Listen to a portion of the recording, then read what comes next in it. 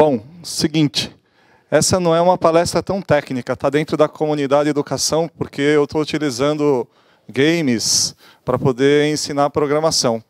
Então a gente não vai entrar muito assim em altas modelagens, como é que eu faço cinemática inversa com Python, essas coisas todas não vão ser abordadas. Basicamente a gente vai ver como utilizar o Python no browser para fazer ensino de programação utilizando games clássicos. Pong, Asteroid. Bom, essa é uma face que eu peguei de um fotógrafo chamado Phil Toledano. Isso foi tema de um TED Talk. Esse cara está prestes a ganhar um jogo, World of Warcraft. É, tem uma pesquisadora de Berkeley, Jane McGonigal, que o doutorado dela era justamente que as pessoas deveriam jogar mais games para que a gente tivesse um futuro melhor. Por quê? A teoria dela era simples. É, no caso do World of Warcraft, você sempre que você entra, você tem uma tarefa compatível com o seu poder. Então, se você é um ninja ou você é um iniciante, você sempre recebe uma tarefa proporcional ao que você consegue. A segunda coisa muito interessante do World of Warcraft é que você tem que trabalhar em equipe. Isso é uma coisa muito boa para os dias de hoje. E também a tarefa, normalmente é uma tarefa bacana, do tipo salvar o mundo, conseguir fazer uma civilização, não morrer, etc. Bom, por que, que o negócio de games aqui no Brasil é tão forte? Vou passar para vocês um. Eu estive no Campus Party, e no Campus Party, uma das coisas que eu fiquei mais impressionado é, foi com o barulho que o pessoal fazia num campeonato de League of Legends. O Brasil entrou para a história esse ano por causa desse campeonato. Os melhores são os coreanos. E na classificatória, o Brasil conseguiu ganhar dos coreanos, apesar dos coreanos não terem. É, eles chegaram na final, os coreanos ganharam dos poloneses, foram os campeões. Mas a gente ganhou na classificatória. Isso aqui eu assisti ao vivo.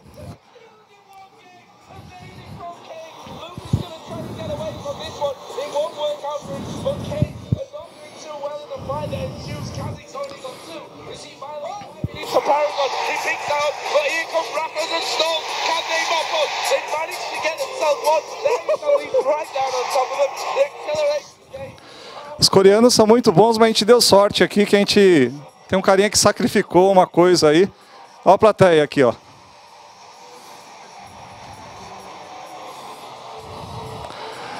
Bom, todas as palestras do Campus Party ficaram impossíveis de serem escutadas por causa desse campeonato aqui.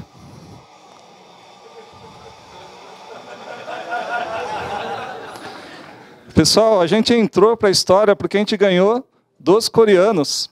Esses coreanos depois eles acabaram sendo os campeões do Stream Masters, assim, é, eles ganharam dos poloneses. Mas o fato do Brasil conseguir ganhar na classificatória deles entrou para a história. Então, esse negócio de, de games é uma coisa assim bastante presente, pelo menos na juventude. É, na PyCon, faz pouco, pouco tempo, da Inglaterra aqui, o Reino Unido, o pessoal fez um workshop para crianças. E aqui a gente tem um testemunho das próprias crianças, do que, que elas acham sobre os games.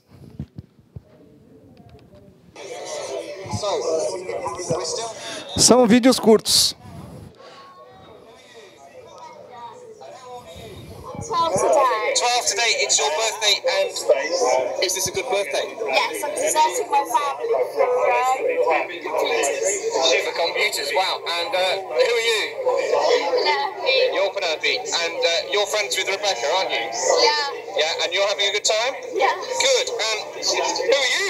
I know. And are you having a good time? So yeah. Fantastic. And, Esse pessoal, eles estavam tentando fazer pilotar um drone. Tem uma biblioteca que foi lançada em Python para você pilotar um quadricóptero. Então é um negócio muito divertido. Tem um outro aqui também que está brincando com Minecraft.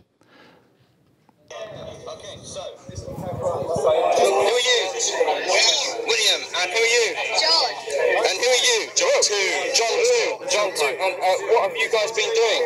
We've been putting on Text into Minecraft. Yes. What is it? I forgot the software name. Python. Estão brincando com o Minecraft, que tem uma biblioteca em Python para poder manipular o Minecraft. Mas o mais interessante, o mais interessante, que não são só as crianças que se divertem com games. Os adultos também. Aqui tem alguns professores aqui e uns desenvolvedores do Bank of America. Eles estão manipulando um drone dentro do Minecraft. Então, dentro do Minecraft, você coloca, por exemplo, aqui tem, tem uma parede, o drone ele tem que baixar, passar por baixo da parede para poder continuar o trajetório. Então, eu peguei esse filme também. Isso aqui é recente, é da semana passada aqui.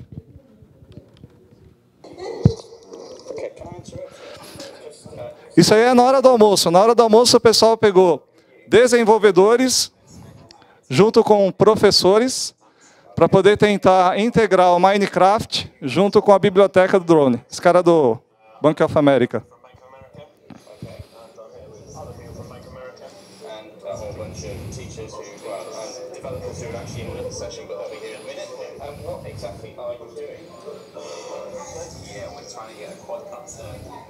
The movement or mirroring the movement of a player in Minecraft.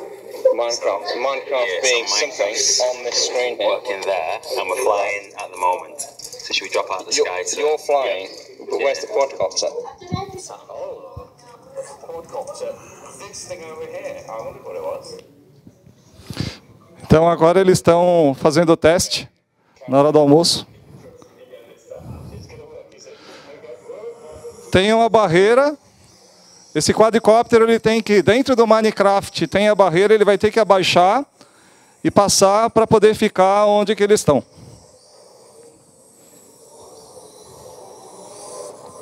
Vai bater, vai bater, vai bater. Olha, olha a cara de diversão deles aqui. Passou, ó. Na hora, na hora que o drone passou, tá em cima lá, estão brincando aqui. Então é muito divertido fazer games. Aliás, eu estou querendo comprar esse, esse drone aqui para poder fazer essas coisas lá na Fatec. É, a biblioteca Python para controlar o quadricóptero é extremamente simples. Eu coloquei os links desse vídeo. Se vocês derem um pause, vocês vão ver que é uma página para controlar e fazer a integração do drone dentro do Minecraft. Então, o videogame é uma coisa muito legal. A maior parte das pessoas é, é fã de produtores independentes. Então, esse joguinho aqui, o Braid, é sucesso. A maior parte das pessoas adora esse jogo aqui, é produção independente. Isso aqui tem um outro jogo aqui que o, o, o fez demorou quatro anos para ser lançado aqui. O sujeito aqui ele teve muitos problemas com a companhia que contratou ele, perdeu o sócio. Quem quer aprender alguma coisa sobre desenvolvimento independente de games, tem um filme chamado Indie, The Movie, que é espetacular. É um filme que você tem os bastidores da criação de jogos por todos esses caras aqui. Esse cara ele falou, ó, se eu não conseguir terminar esse jogo, eu, eu me mato, assim, porque esse jogo é a minha vida, né? E ele agora ele ganhou lá em Montreal é, o prêmio por causa disso, né? Esse é outro jogo, Super Meat Boy. Esses dois caras também são produtores independentes. Então a maior parte das pessoas hoje em dia, uma boa parte, tem como meta fazer videogame. E eu, como professor universitário, uma preocupação é que as pessoas que estão aprendendo a programar se motivem a aprender a programação. O problema da programação, hoje em dia, é que ela não evoluiu muito em termos de ensino. Há 30 anos atrás, quando você manipulava um carro, o carro era de um jeito. Hoje, se você pegar o carro, o carro tem airbag, tem direção hidráulica, tem um monte de coisas assim que são evolução.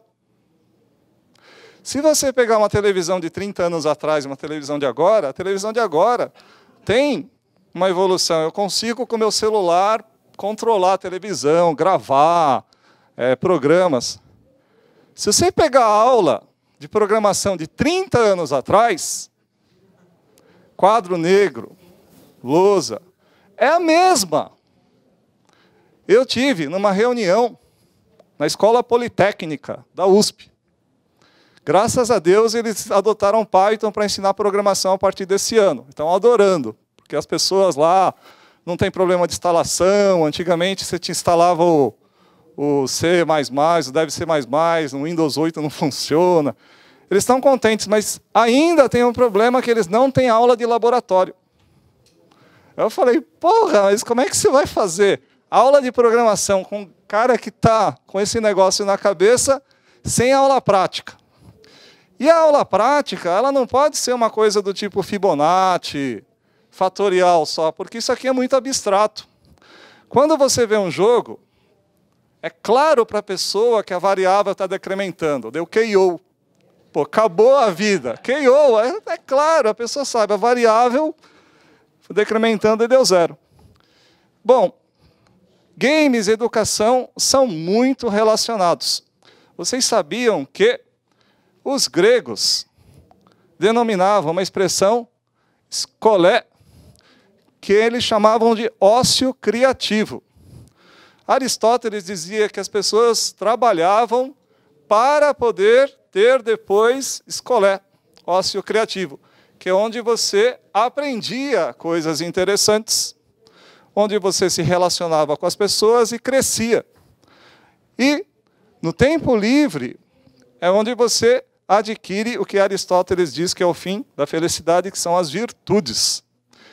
Quando você trabalha, é quem trabalha assim com período fixo, oito da manhã tem que bater o ponto, ou a aula, tem uma aula fixa, você não tem escolhas, você é obrigado a seguir. No primeiro ano do ITA lá tem 35 aulas.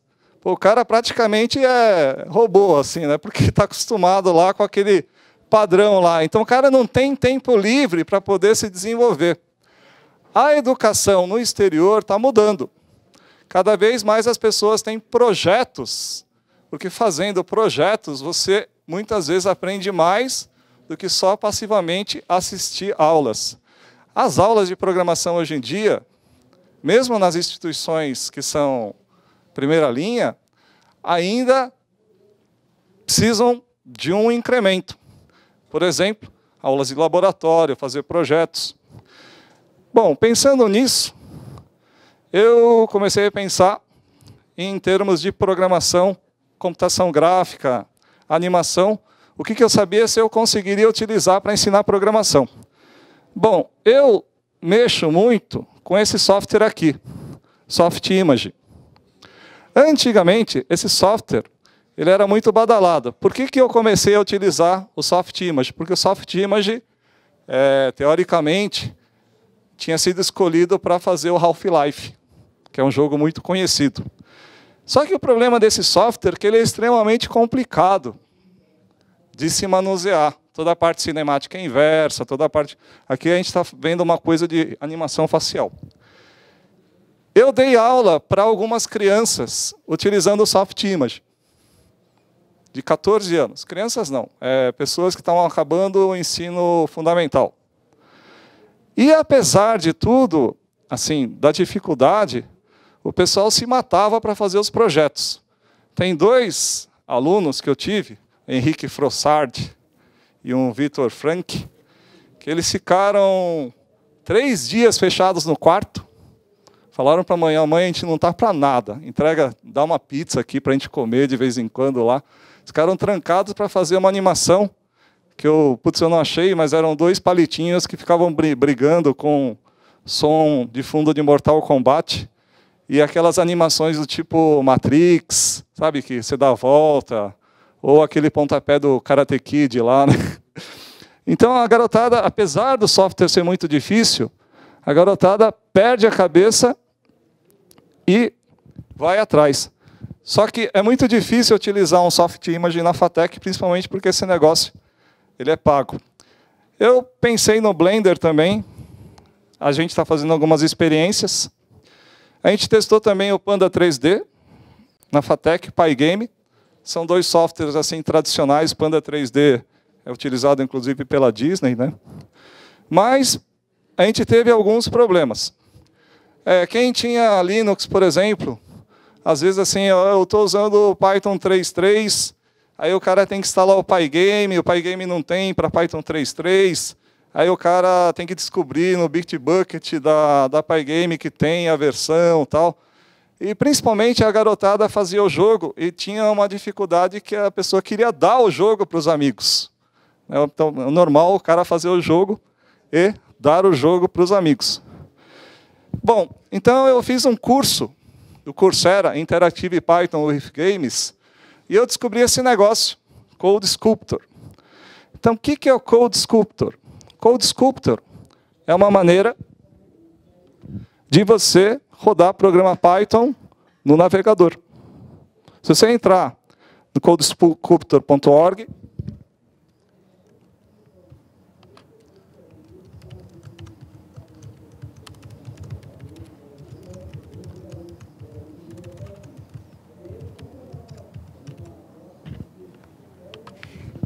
Hello Python Brasil. Então, esse aqui é um ambiente em cima de JavaScript, simples.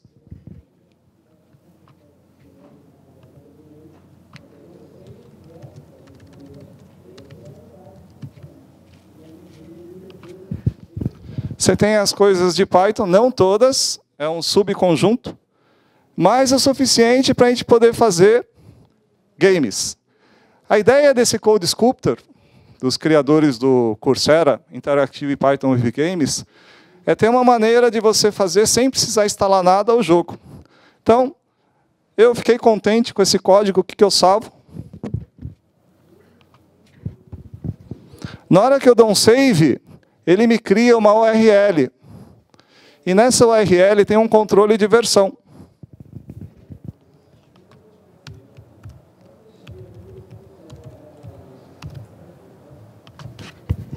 Vocês perceberam que mudou para 1.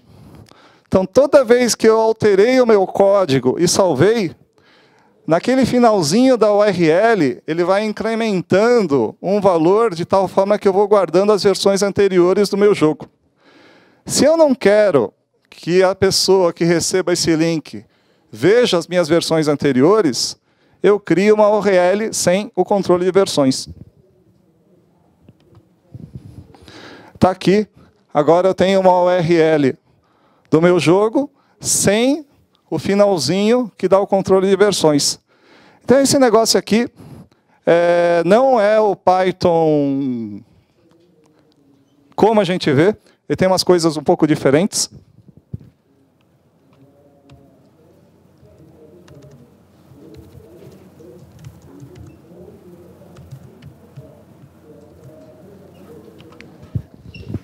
Se você fizer o print 3, 3 dividido por 2 dá 1 truncado, mas também tem uma opção é, sem truncar. Bom.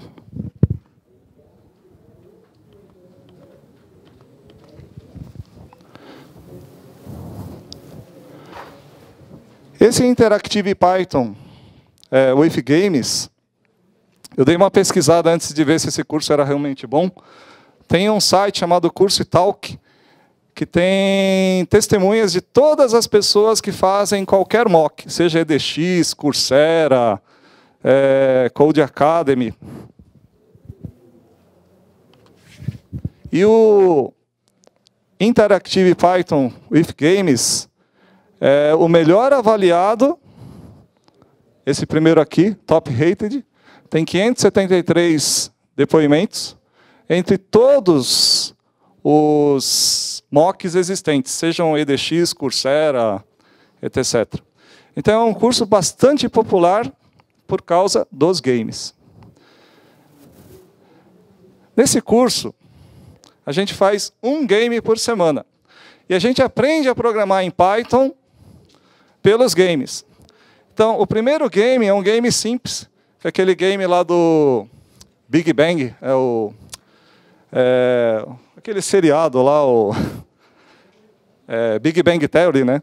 Tem lá o Rock, Spock, Paper, Lizard, Scissors, que é aquele jogo que você tem, em vez de você ter só tesoura, papel e pedra, você tem também o Spock e tem também o, o, o Lizard, né?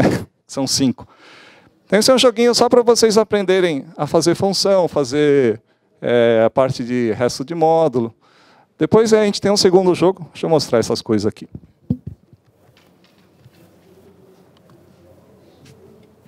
Esses joguinhos assim, eles estão meio feios porque, mas foi eu que fiz, então é de coração, né? Então a ideia é o seguinte: eu tenho aqui o Rockspock Paper Lizard Scissors e a, a gente gera uma, alguns jogos, né? E a gente sabe quem ganhou, né? O player escolheu o rock, o computador escolheu o scissor, o jogador ganhou, tal. Então tem uma série de jogos aqui. Então é bem simples, só para você aprender a fazer a primeira parte de, de funções e if e else. Depois a gente aprende a fazer janelinha, a gente aprende a fazer timer, uma coisa básica para jogo. Esse é um jogo aqui que eu tenho que conseguir acertar é, o, o número quando ele estiver no zero lá. Ó, errei, né? Então a ideia é eu, eu tenho que esses caras aqui eles ficam rodando, eu preciso acertar quando der zero. Então, um joguinho simples, só para você aprender a fazer janelinha, fazer timer.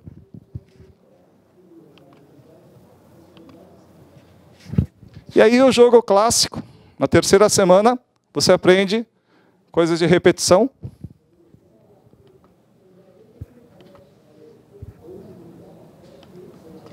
O jogo tradicional de você adivinhar um número entre 1 e 100 certo? Bom, aí a gente já começa a aprender já list comprehensions, que é uma estrutura muito interessante em Python. Quem não é de Python, é, se não sabe, é uma coisa que vale a pena. Você consegue. Aqui eu, eu tenho um jogo da memória aqui. Eu tenho as minhas cartas aqui, estou gerando com list comprehension aqui e porcentagem 8, for em range 16. Esse é um joguinho de memória.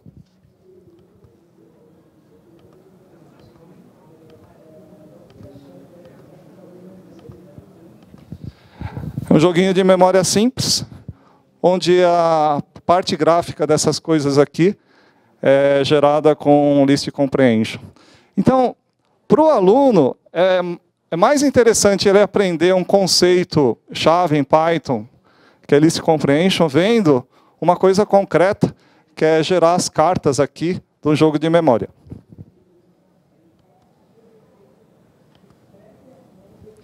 Bom, aí vem a parte de computação gráfica mesmo, reflexão, colisão, como é que eu faço? Então, esse é o jogo assim que as pessoas que não têm muito gosto por, por games, em geral, param lá no Coursera, que é o Pong. Então aqui eu tenho o Pong. Ops.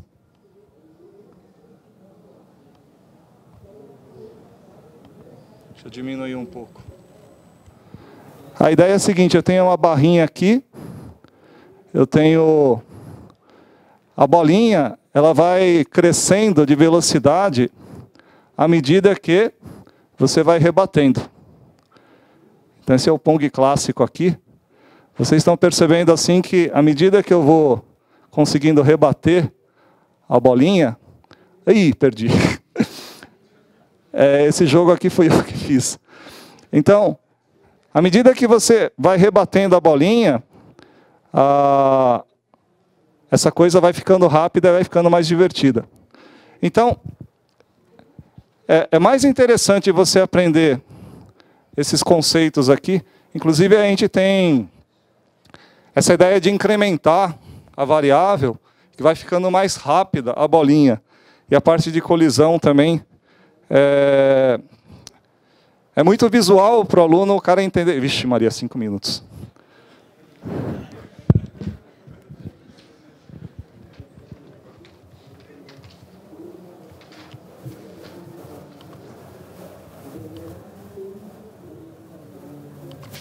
Vou direto para asteroides que esse asteroide tem uma história. Eu estava na Python Nordeste, que foi maio, né? Eu tinha que entregar esse negócio. É, o deadline era sábado, duas da madrugada. Então a gente saiu lá para tomar uma chopada, a gente fechou o barril 45 lá, a Henrique Bastos fez um acordo lá com o cara, fechou 200 chopes lá. Eu tomei uns 5, 6 chopes. Cheguei em casa, tinha que entregar esse negócio aqui e fazer o joguinho, porque senão você perde os pontos e não ganha diploma, né? Então tem uma história. Porque é legal você contar assim, esse jogo eu fiz em duas horas bêbado, né?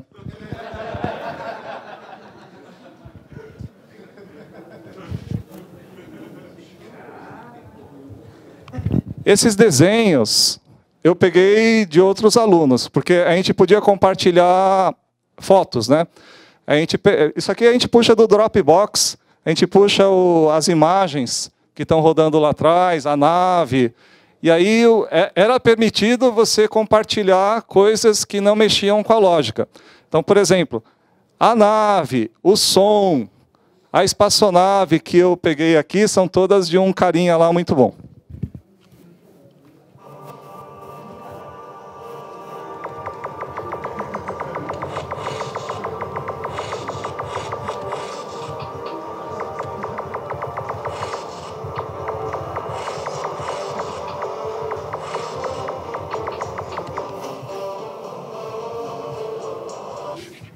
Deu para vocês verem aqui que é um código simples.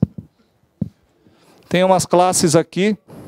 Tem uma classe aqui da imagem, tem classes relativas à, à explosão. Todo o tratamento de colisão é simples. É, é uma formulinha que você vê a distância lá e você consegue ver a colisão. E cada míssil, cada asteroide, é só você fazer uma chamada da classe que gera o um novo elemento. Então esse negócio aqui eu fiz bêbado.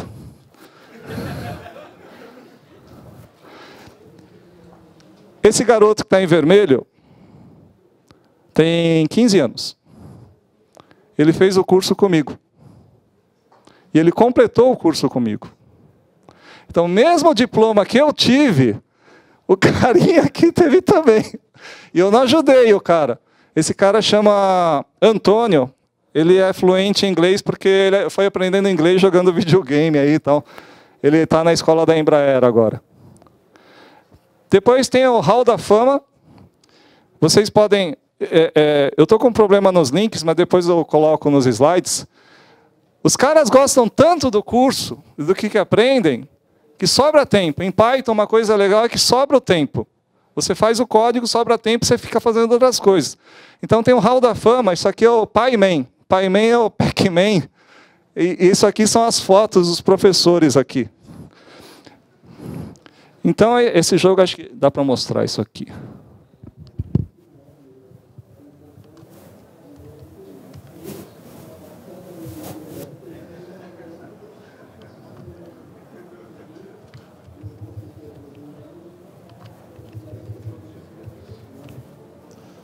Vocês vão na seção de demos, Hall da Fama. O legal dessas coisas todas que tem o código, fonte. E aí você brinca com, com, com a coisa aqui, certo? Bom, eu não, eu não sou bom nisso aqui. Então, que coisa o pessoal fez? O pessoal fez uma um corrida de carro. Esse negócio funciona. Cinco minutos, estou acabando. Isso aqui é um Star Wars, vão aparecendo os polígonos, tem que desviar dos polígonos. Isso aqui é defesa de torre aqui, que você vai plantando aqui as torres, vai atacando as bolinhas. É, o Kibert aqui é o pai Bert aqui. Tem milhares de jogos aqui. Os caras foram fazendo jogo adoidado aqui. Então, eu recomendo para vocês, mesmo quem já sabe programar, vocês podem fazer, vai começar dia 7 de outubro. Esse curso Interactive Programming Python with Games. No curso Python para zumbis, na última semana, eu vou passar como uma das tarefas o asteroides. Eu espero que o pessoal goste. E perguntas.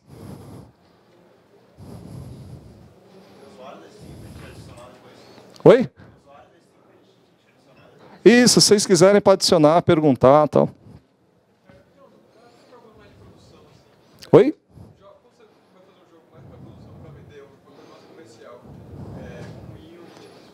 Ih, rapaz, aí tem toda uma história de empacotar, tal, essa parte chata. Por isso que Ah, eles ficam chateados assim porque todo, tem uns alunos que já sabem fazer isso espontaneamente, mas mais da metade tem muita dificuldade. Aí o cara fica frustrado. Agora, quando você passa um link, pô, o cara pega o link do amigo e aí muda a cara, coloca. Eles fizeram colocar um cara do professor lá no, nos asteroides, assim, né? então eles ficam brincando. Que a ideia é aprender programação e fica mais fácil você divulgar o seu código dessa forma, né?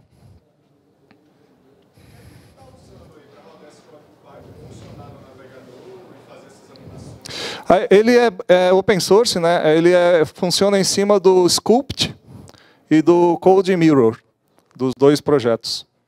É, o cara fez uma biblioteca própria, tem uma biblioteca chamada Simple GUI, que é, roda em cima do JavaScript. Esse negócio não roda bem no Internet Explorer, mas no Firefox e no, e no Chrome funciona bem. É.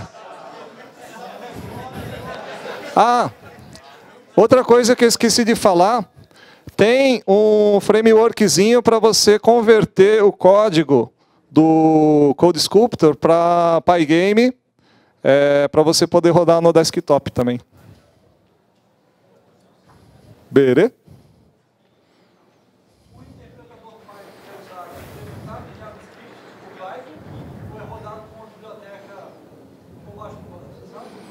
Não sei. Eu, eu sei que é Sculpt e Code Mirror. É tipo Brighton. Eles estão falando que é tipo Brighton. Brighton é melhor, né? Mas é esse, esse Code Sculptor, o cara pegou as férias lá de. É, como é que se. Lá, lá, lá, nos Estados Unidos, tempos em tempos, o professor tem alguns meses de férias para fazer. É sabática, exatamente. Fez isso aí. Esse, ah, é, eu acho que na última edição tinham 100 mil pessoas fazendo esse curso. Tem isso aqui para divulgação do Python espetacular. Desses 100 mil, acho que uns 8 mil conseguiram concluir o curso e obter o diploma. Isso aí tem uma repercussão. O Python para zumbis, que o Marcel vai falar, também está com 5 mil pessoas. Em termos de divulgação, comunidade, é uma coisa impressionante. É, esse negócio de jogo aí está ajudando bastante. Aí. Berê? Obrigado.